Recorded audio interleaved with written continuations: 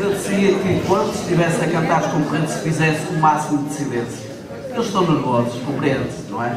Então cantou o concorrente número 3, José António, e o concorrente número 4 é Vera Santos, veio de Aveiro para cantar Amar não é pecado. Palmas para a Vera.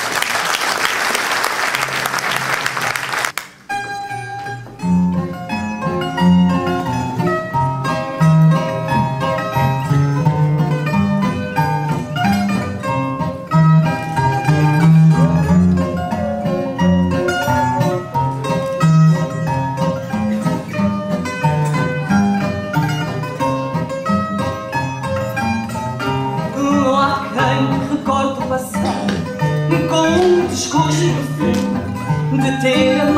do